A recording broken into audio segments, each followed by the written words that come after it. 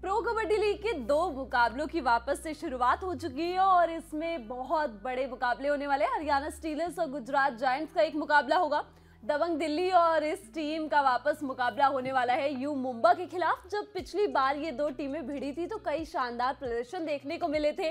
Haryana stealers ने Gujarat giants को हराया था। दबंग दिल्ली के लिए नवीन एक्सप्रेस उतरे थे। एक सुपर टेन उन्होंने लगाया था। यू मुंबा को हराया था और इस मैच में नवीन उतरेंगे या नहीं?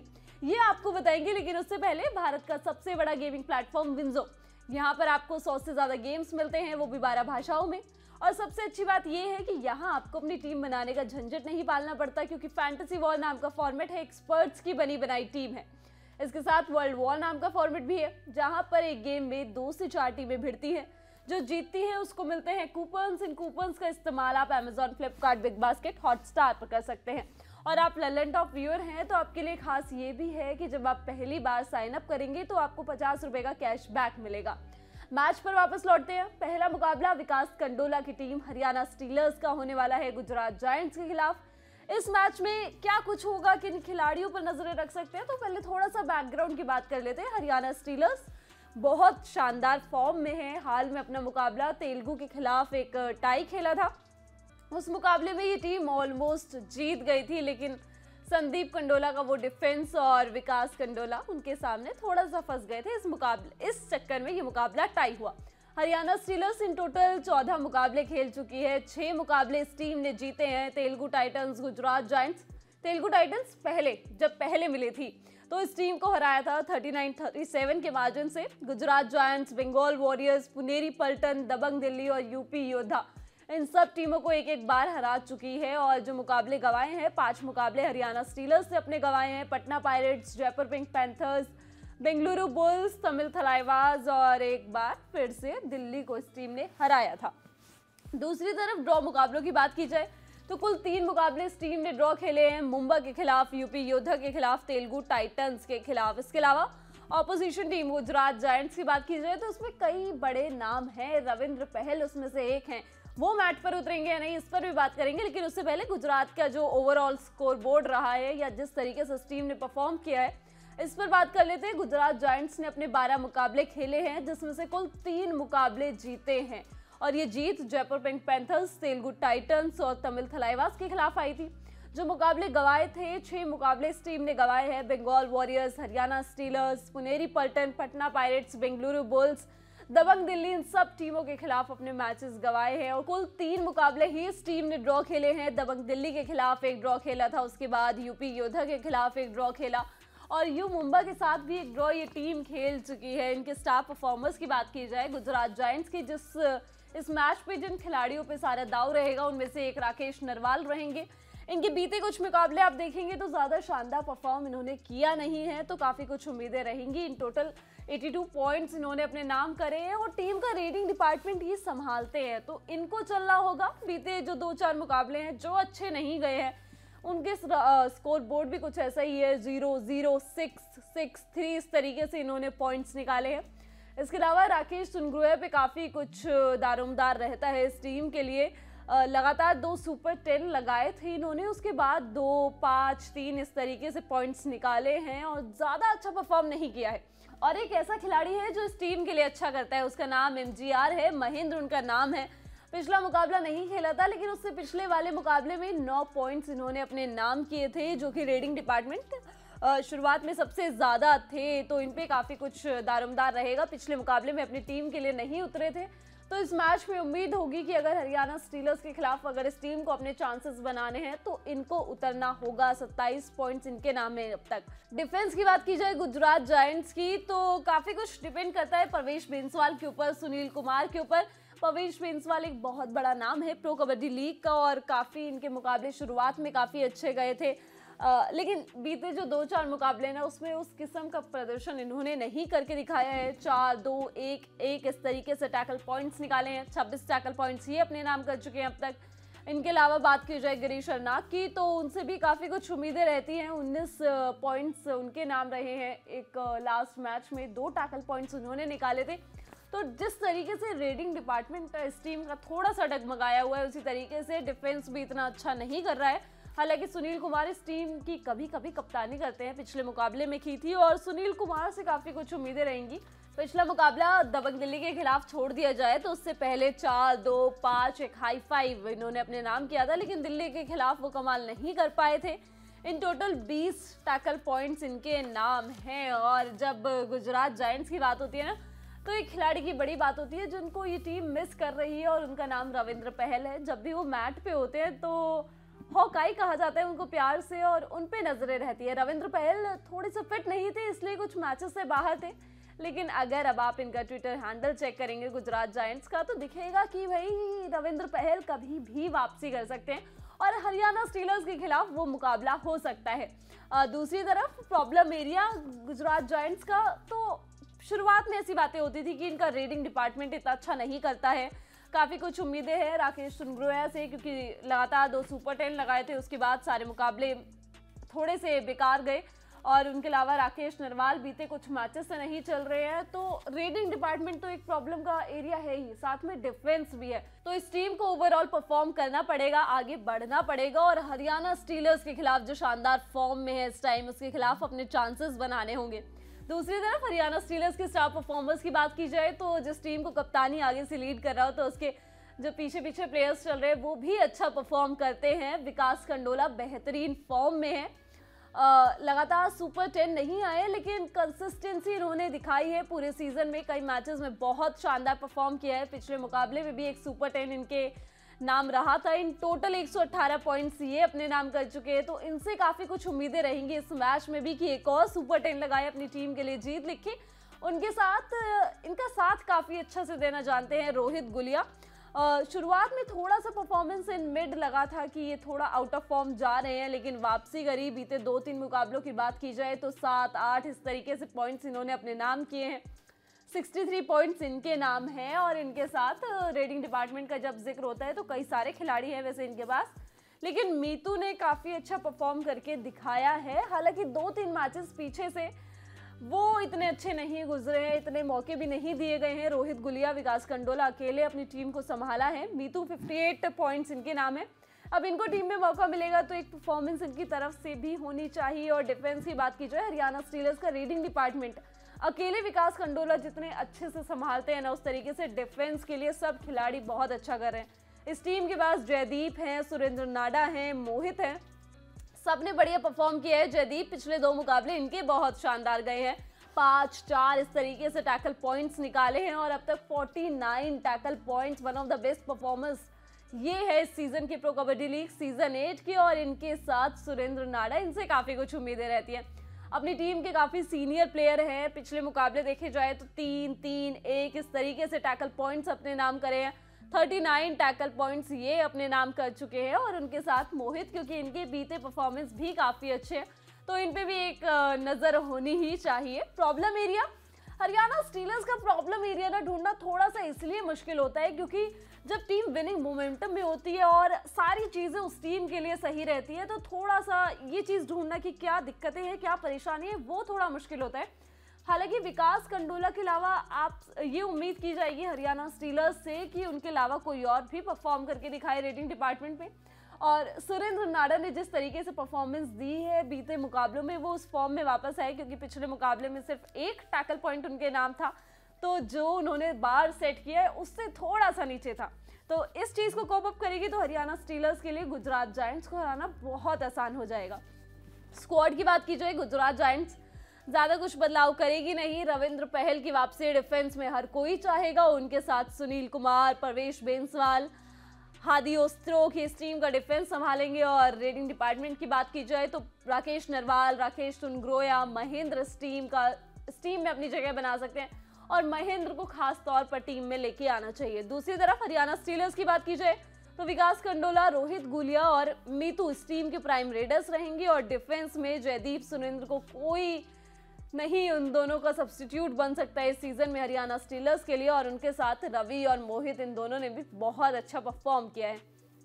अब लास्ट इनकाउंटर की भी बात करते हैं, जब ये दोनों टीमें पहले मिली थी तो हरियाणा स्टीलर्स ने दो पॉइंट की मार्जिन से गुजरात जायंट्स को हराया था। अड़तीस छत्तीस का रेशियो रहा था और जो सबसे बड़ी चीज़ रही थी इस मैच में गुजरात जायंट्स की हार के लिए वो डिफेंस रहा था इन टोटल हरियाणा की बात की जाए तो 25 रेड पॉइंट और 9 टैकल पॉइंट निकाले थे। गुजरात ने भी सेम 25 रेड पॉइंट और 7 टैकल पॉइंट्स निकाले थे। उस मैच में गुजरात जायंट्स के लिए प्लस ये था। हार के बावजूद कि राकेश सुनग्रोया का एक सुपर टेन आया था 19 पॉइंट्स उन्होंने अकेले निकाले थे। तो इस मैच में भी कुछ उसी तरीके की परफॉर्मेंस की एक बार फिर से परफॉर्म करके जाए और राकेश नरवाल चार पॉइंट्स उनके नाम रहे थे। डिफेंस की बात की जाए तो जिनको हम इतना ज़्यादा मिस कर रहे हैं, जिनकी वापसी की उम्मीद कर रहे हैं, रविंद्र पहल, उन्होंने चार टैकल पॉइंट्स निकाले थे। परवेश बेंसवाल के खाते में एक ही टैकल पॉइंट रहा था और हरियाणा स्टीलर्स के लिए विकास कंडोला कप्तान का एक और सुपर टेन आया था। उनके साथ मीतू ने भी एक सुपर टेन निकाला था।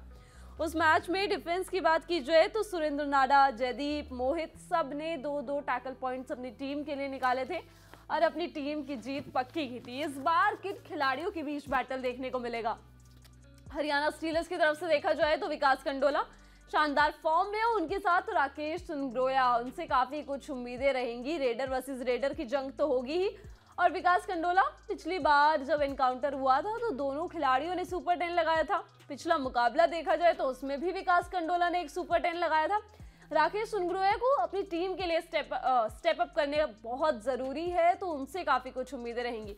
वॉच आउट प्लेयर्स की बात भी कर लेते हैं। हरियाणा स्टीलर्स के लिए विकास कंडोला कप्तान ऑब्वियसली उन पे नज़रें रहेंगी और इस टीम का डिफेंस बहुत शानदार परफॉर्म करता है।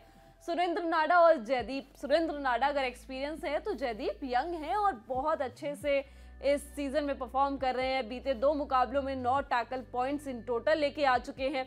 49 टैकल पॉइंट्स उनके नाम हैं। सिर्फ़ हाफ़ सेंचुरी 50 टैकल पॉइंट्स हासिल करने से सिर्फ़ एक पॉइंट दूर है। एक टैकल पॉइंट और चाहिए उनको। दूसरी तरफ़ गुजरात की बात की जाए तो कुछ ऐसा एक्सेप्शनल प्लेयर नहीं नज़र आता। परवेश बेंसवाल से उम्मीदें रहती हैं, सुनील कुमार से उम्मीदें रहती हैं, महेंद्र से रहती हैं, लेकिन रविंद्र पहल की अगर वापसी होती है तो उनको देखने में बहुत मज़ा आने वाला है। इसके बाद एक और मुकाबला होगा, दबंग दिल्ली का यू मुंबा के खिलाफ। दबंग दिल्ली मिक्स्ड सा सीज़न रहा है या फिर लास्ट मैचेस कहे जाए तो वो थोड़े से मिक्स रहे हैं। पटना पायरेट्स जैसी बड़ी टीम को हराया, फिर उसके बाद हरियाणा स्टीलर्स से अपना मुकाबला गवाया, एक और मुकाबला गवाया पुनेरी पल्टन्स के खिलाफ। उसके बाद जब एक और मुकाबला हुआ गुजरात जायंट्स के खिलाफ तो वहाँ पे एक बहुत बड़े मार्जिन से जीत हासिल करी। और ये याद रखने वाली बात है कि इन चारों मैचेस में ही नवीन कुमार एक्सप्रेस नहीं खेले थे। तो इस टीम में दम है, ये टीम परफॉर्म करके दिखा सकती है और पिछले मुकाबले में ही जोगिंदर नरवाल इस टीम के कप्तान वापस आए हैं। तो ये कमाल करके दिखा सकती है नवीन कुमार एक्सप्रेस के बिना। यू मुंबा के पास काफ़ी सारे सितारे हैं, अभिषेक सिंह, फजल अत्रचली, रिंकू, ये सब फिट एंड फाइन है तो इनको देखना काफ़ी इंटरेस्टिंग होने वाला है। दबंग दिल्ली काफ़ी कुछ देख लिया उन्होंने सीज़न और नवीन कुमार की काफ़ी ज़्यादा चर्चा होती है तो नवीन कुमार शायद जल्द ही वापसी भी कर सकते हैं, क्योंकि जिस तरीके से टीम ने, दबंग दिल्ली केसी की फ्रेंचाइज ने उनकी पोस्ट डाल रही है और लग रहा है कि नवीन कुमार एक्सप्रेस बहुत जल्द मैट पर वापस आ सकते हैं और यू मुंबई के खिलाफ ही वो मुकाबला हो सकता है जिसमें वो वापसी करे। और पिछली बार जब भिड़े भी थी ये दो टीमें तो नवीन कुमार ने एक सुपर टेन भी लगाया था। तो शायद एक और सुपर टेन उसी तरीके के सुपर टेन की हम उम्मीद कर सकते हैं। दबंग दिल्ली चौदह मुकाबले अब तक खेल चुकी है, जिसमें उसने Puneri Paltan, U Mumba, Bengal Warriors, Telugu Titans UP Yoddha, Haryana Steelers, Patna Pirates, Gujarat Giants जैसी टीमों को हराया। कुल चार मुकाबले इस टीम ने गंवाए हैं और वो जयपुर, बेंगलुरु बुल्स हरियाणा स्टीलर्स और पुनेरी पल्टन्स के खिलाफ, जिसमें से दो तीन मुकाबले अभी रिसेंट के हैं, जिसमें नवीन कुमार नहीं खेले हैं। डिफेंस की बात की जाए तो गुजरात जायंट्स और तमिल थलाइवास के खिलाफ अपने मैचेस ड्रॉ करे और दूसरी तरफ़ यू मुंबा की बात की जाए, ये टीम पाँच मुकाबले अपने ड्रॉ खेली है, जिसमें एक सबसे इंटरेस्टिंग बंगाल वॉरियर्स था और वहीं से इन्होंने वापसी करनी शुरू करी थी एक बार फिर से जीत की। तो जो पाँच मुकाबले ड्रॉ खेले हैं, वो Tamil थलाईवाज UP Yoddha Haryana stealers Gujarat giants और एक बंगाल के खिलाफ। और जो पाँच मुकाबले इस टीम ने अपने नाम करे, उसमें बेंगलुरु बुल्स को दो बार हराया है, तेलुगु टाइटंस को दो बार हराया जयपुर पिंक पैंथर्स के खिलाफ जीत हासिल करी। और जो तीन मुकाबले गवाए, वो भी दबंग दिल्ली, पटना पायरेट्स पुनेरी पल्टन्स के खिलाफ गवाए थे। इस मैच में काफ़ी कुछ इंटरेस्टिंग होगा, क्योंकि अगर नवीन कुमार वापसी करते हैं तो जो उनका points table 138 in total points पे अटका हुआ है, वो और ज़्यादा आगे बढ़ेगा। उनके जो पॉइंट्स हैं, वो अपनी टीम के लिए कितने इंपॉर्टेंट है, ये आप इस बात से समझ सकते हैं कि इस टीम ने पुनेरी पल्टन्स, जयपुर पिंक पैंथर्स के खिलाफ अपने मैच गंवाए हैं। तो उस तरीके से नवीन कुमार का वापस आना टीम के लिए काफ़ी पॉजिटिव भी रहेगा और उनके बाद विजय मलिक का काम थोड़ा सा हल्का हो सकता है। विजय मलिक कई मैचेस में नवीन के बिना स्टैंड अप किया है उन्होंने और अपनी टीम को मैचेस जिताए हैं। पिछले मुकाबले में भी बढ़िया परफॉर्म किया था। आठ पॉइंट्स अपने नाम करे थे गुजरात जॉइंट्स के खिलाफ और 82 पॉइंट्स इन टोटल ये अपने नाम कर चुके हैं। इनके बाद अगर नबी नहीं आते तो आशु मलिक रेड करने आएँगे और आशु मलिक इनके दो चार सीज़न मतलब टीम के लिए छोटे छोटे कॉन्ट्रीब्यूशन इनकी तरफ़ से आने हैं। तीन तीन, दो छः इस तरीके से पॉइंट्स इन्होंने अपने नाम किए हैं। डिफेंस की बात की जाए तो इस टीम के पास कितने सारे सीनियर प्लेयर्स हैं? आप कई सारे लोगों का नाम गिन सकते हैं। संदीप नरवाल है मंजीत है, जीवा है, जोगिंदर नरवाल है। तो कई सारे खिलाड़ी और जोगिंदर नरवाल की भी वापसी हो गई है। पिछला मुकाबला एक टैकल पॉइंट आया और चौदह टैकल पॉइंट्स अब तक इन्होंने अपने नाम किए और पिछले मुकाबले में वापसी की और अपनी टीम को जीत के दरवाजे तक लेके गए। संदीप नरवाल, ये शुरुआत तो इन्होंने भी एक डिफेंडर के तौर पर करी थी, लेकिन फिर जब नवीन बाहर गए तो टीम के लिए रेडिंग पॉइंट्स भी लेके आए। कई सारे पॉइंट्स अपने नाम किए 45 इन टोटल पॉइंट्स अब इनके नाम है। और इनके बाद एक प्राइम डिफेंडर टीम का मंजीत चिल्लर इनसे काफ़ी कुछ उम्मीदें रहती है, क्योंकि जब जोगिंदर नरवाल नहीं थे तो टीम की कप्तानी संभाली और टीम के लिए जीत भी हासिल करी। और उनके बिना कई हार का भी सामना किया तो काफ़ी कुछ सीख गए हैं। और पिछले मुकाबले में एक हाई फाइव भी अपने नाम किया। इन्होंने पाँच पॉइंट्स अपने नाम किए। और इनके बाद डिफेंस में कृष्ण की जगह भी बनती है, क्योंकि पिछला मुकाबला इतना अच्छा गया है, पाँच टैकल पॉइंट्स एक हाई फाइव इन्होंने भी निकाला इस सीज़न का। अब दबंग दिल्ली की प्रॉब्लम एरिया की जब जब बात होती है ना तो ऐसा आपको ज़्यादा कुछ दिखता नहीं है, क्योंकि कई मैचेस में विजय मलिक सामने से आके परफॉर्म करते हैं तो जब टीम को जीत मिलती रहती है तो ये चीज़ ढूंढना थोड़ा सा मुश्किल होता है, और वो भी तब जब सबकी तरफ़ से परफॉर्मेंस आ रहा हो। जैसे पिछला मुकाबला गया, मंजीत ने पॉइंट्स निकाले, कृष्ण ने पॉइंट्स निकाले आशु मलिक ने परफॉर्म किया, विजय मलिक ने परफॉर्म किया तो इस टीम को जिस चीज़ की कमी है, वो अब सिर्फ़ नवीन की कमी है। शुरुआत में कहा जाता था कि सिर्फ़ नवीन रीडिंग पॉइंट्स लेके आते हैं अपनी टीम के लिए, लेकिन अब विजय मलिक, आशु मलिक भी कंसिस्टेंट परफॉर्म कर रहे हैं। तो नवीन आ जाए तो दबंग दिल्ली को हराना बहुत मुश्किल हो जाएगा। दूसरी तरफ़ यू मुंबा की बात की जाए तो जब से बंगाल वॉरियर्स के खिलाफ एक टाई खेला ना ड्रॉ मुकाबला खेला, उसके बाद से इस टीम ने वापसी कर दी और इस टीम के लिए बहुत बढ़िया परफॉर्म करते आ रहे हैं अभिषेक सिंह।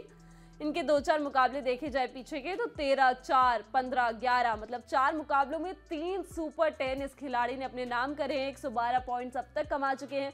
इनका साथ रेडिंग डिपार्टमेंट में अजीत देते हैं और अजीत ने भी बहुत अच्छी वापसी करी है। आठ, पाँच, आठ इस तरीके से पॉइंट्स निकाले हैं। और इनके साथ एक ऑलराउंडर खिलाड़ी भी है इस टीम के पास, राहुल सेतपाल। जो आपके लिए रेड करने भी जाते हैं, आपके लिए टैकल पॉइंट्स भी निकालते हैं और बीते दो चार मुकाबलों में सात, शून्य छः आठ, इस तरीके से पॉइंट्स इन्होंने भी अपने नाम किए। डिफेंस की बात की जाए तो यू मुंबई के डिफेंस में हरेंद्र एक बहुत बड़ा नाम है, लेकिन उनके बाद सुल्तान, फजल अतरत चली, जिनको कोई साइडलाइन नहीं कर सकता। बेशक वो परफॉर्म ना करे, शुरुआत में हमने ऐसा देखा था कि उनके नाम दो तीन मैचेस में एक भी टैकल पॉइंट नहीं रहा था। उसके बाद थोड़ी सी परफॉर्मेंस अप हुई। चार चार एक। एक तीन इस तरीके से पॉइंट्स निकाले। फिर थोड़ा सा डीप हुआ, लेकिन उसके बाद जो वापसी करी है, वो बहुत शानदार है। पीछे के दो मुकाबले देखे जाए तो छह और तीन इस तरीके से 26 टैकल पॉइंट्स ही अपने नाम कर चुके हैं। और इनके बाद रिंकू, चौतीस टैकल पॉइंट इनके नाम है। रिंकू पे काफ़ी कुछ डिपेंड करने वाला है अगर इस टीम को जीतना है तो। प्रॉब्लम एरिया यू मुम्बा ने बहुत शानदार वापसी करी है और उसमें क्रेडिट फजल अतरचली को भी जाता है क्योंकि कैप्टन है फ्रंट से लीड करते हैं, खूब सारे टैकल पॉइंट्स निकालते हैं छः तीन इस तरीके से टैकल पॉइंट्स निकाले हैं। रेडिंग डिपार्टमेंट में अभिषेक इन प्रेजेंट अच्छा कर रहे हैं सुपर टेन निकाल रहे हैं, लेकिन उनको वो परफॉर्मेंस कंसिस्टेंट रखना होगा उस परफॉर्मेंस को और एक और सुपर टेन दबंग दिल्ली के खिलाफ निकालना होगा। अगर जीत हासिल करनी है तो। दूसरी तरफ़ स्क्वाड्स की बात की जाए तो दबंग दिल्ली नवीन कुमार आते हैं तो एक प्लेयर अंदर बाहर हो सकता है। नवीन कुमार के साथ विजय मलिक, आशु मलिक इस टीम का रेटिंग डिपार्टमेंट डिफेंस की बात की जाए तो जोगिंदर नरवाल, संदीप नरवाल मंजीत चिल्लर और उनके साथ कृष्ण अपनी जगह बना सकते हैं। जीवा थोड़ा सा मुश्किल है, हालाँकि वो उनकी परफॉर्मेंस काफ़ी अच्छी रही है, लेकिन दबंग दिल्ली के जब वीक पॉइंट की बात होती है, उनमें से जीवा एक है, जो कि कई बार आउट होकर ऑपोजिशन टीम को पॉइंट्स दे देते हैं। दूसरी तरफ़ यू मुंबई की बात की जाए तो अभिषेक सिंह, अजीत, राहुल सेतपाल, ये इस टीम के रेडर्स होंगे। राहुल सेतपाल ऑलराउंडर और डिफेंस की बात की जाए तो हरेंद्र, रिंकू, फजल के साथ मोहसेन अपनी जगह बना सकते हैं। लास्ट इनकाउंटर जब पहले ये दोनों टीमें मिली थी तो दबंग दिल्ली ने यू मुंबा इस टीम को हराया था। इकतीस सत्ताईस का रेशियो रहा था और उस मैच में जो डिसाइडर था, वो डिफेंस ही था। दबंग दिल्ली ने 18 रेड पॉइंट और 10 टैकल पॉइंट्स अपने नाम किए थे। वहीं यू मुंबई की बात की जाए तो 18 रेड पॉइंट और कुल 6 टैकल पॉइंट्स इस टीम के नाम रहे थे। इसमें भी मोहसिन और रिंकू के नाम, मोहसिन के नाम तीन और रिंकू के नाम एक टैकल पॉइंट रहा था। फजल और हरेंद्र दोनों के नाम शून्य टैकल पॉइंट्स। और रेटिंग की बात की जाए तो अजीत ने सात पॉइंट्स, अभिषेक के नाम पाँच पॉइंट्स रहे थे। दूसरी तरफ़ दबंग दिल्ली की बात की जाए तो नवीन ने सत्रह रेड पॉइंट्स, एक और सुपर टेन लगाया था। विजय के नाम सिर्फ़ दो रेड पॉइंट रहे थे। और डिफेंस में जोगिंदर नरवाल ने चार, जीवा ने दो, मनजीत ने एक और संदीप नरवाल ने एक एक ऐसे टैकल पॉइंट्स निकाले थे। तो उस मैच में कंसिस्टेंट परफॉर्मेंस एक overall team performance Dabang Delhi की तरफ़ से दिखा था, वैसे ही कुछ उम्मीद यू मुंबई की तरफ़ से रहेगी और उनके सुल्तान, कप्तान, वो भी ऐसी ही कुछ उम्मीद कर रहे होंगे। इस मैच में एक बहुत शानदार बैटल भी देखने को नज़र आ सकता है। अगर नवीन कुमार उतरते हैं तो उनपे से नज़रें नहीं हटेंगी। वापसी कैसे करते हैं सुपर टेन के साथ, या किस तरीके से? एक तो ये देखने वाला होगा, और उसके बाद वो अभिषेक को किस तरीके से टक्कर देते हैं। दोनों की पिछली परफॉर्मेंस की बात की जाए, जब पहले भिड़ी थी ये दोनों टीमें तो 17 पॉइंट्स नवीन ने निकाले थे, और कुल पाँच पॉइंट अभिषेक निकाल पाए थे। लेकिन अभिषेक से पिछले मुकाबले में 11 पॉइंट्स इन्होंने अपने नाम किए और नवीन बीते चार मुकाबलों से नहीं उतरे हैं। लेकिन फिट है इस चीज़ का अंदेशा, ऐसा कुछ उनकी दबंग दिल्ली की फ्रेंचाइज दे रही है। वॉच आउट प्लेयर्स की बात की जाए, दबंग दिल्ली की तरफ़ से तो नवीन कुमार ऑब्वियसली उतरेंगे तो उनपे से नज़रें नहीं हटेंगी। और डिफेंस में मनजीत चिल्लर जिस दिन चलते हैं, बहुत शानदार परफॉर्म करते हैं। बीते दो चार एक दो मैचेस में नहीं चले थे तो शून्य टैकल पॉइंट्स उनके नाम रहे थे, लेकिन गुजरात जायंट्स के खिलाफ पिछले मुकाबले में चले तो एक हाई फाइव अपने नाम किया। दूसरी तरफ़ यू मुंबा की बात की जाए, फजल अतर चली। जिस दिन चलते, बहुत बढ़िया परफॉर्म ये भी करते हैं। अब तक बीते दो मुकाबलों में छः तीन इस तरीके से टैकल पॉइंट्स उन्होंने निकाले हैं। तो उन पे नज़रें होंगी और उनके साथ अभिषेक सिंह पर, जो कि रेटिंग डिपार्टमेंट संभालेंगे अपनी टीम को, और दबंग दिल्ली के खिलाफ अगर जीत हासिल करनी है ना तो ये खिलाड़ी ही रेड पॉइंट्स ला के लिखेगा। तो ये दो मुकाबले खेले जाएँगे। पहले विकास कंडोला की team Haryana Steelers Gujarat Giants के खिलाफ उतरेगी और उसके बाद दबंग दिल्ली का सामना होगा यू मुंबा के खिलाफ। तो ये दो मुकाबले होंगे। विकास कंडोला की हरियाणा स्टीलर्स पहले मिलेगी गुजरात जायंट्स के खिलाफ, उसके बाद दबंग दिल्ली का सामना होगा यू मुंबा के खिलाफ। इन मैचेस में क्या होगा? ये सब आपको दी ललन टॉप की प्रो कबड्डी लीग की कवरेज कासे कबड्डी में मिलता रहेगा। आप देखते रहिए दी ललन टॉप। मैं हूँ गरिमा, और इसी के साथ अगर अभी तक आपने हमारे नए चैनल ललन टॉप स्पोर्ट्स को सब्सक्राइब नहीं किया है तो उसका लिंक आपको डिस्क्रिप्शन में मिल जाएगा। वहाँ जाकर हमारे नए चैनल को सब्सक्राइब कीजिए, क्योंकि वहाँ आपको तमाम स्पोर्ट्स से जुड़े किस्से, कहानियाँ, न्यूज़, इंटरव्यू, ओपिनियन, लाइव सब कुछ मिलता है। देखते रहिए दी ललन टॉप। शुक्रिया।